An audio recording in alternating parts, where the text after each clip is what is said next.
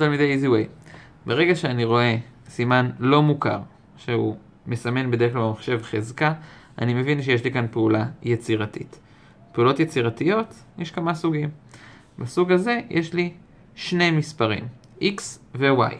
כלומר סוג שני משתנים. בואו נראה.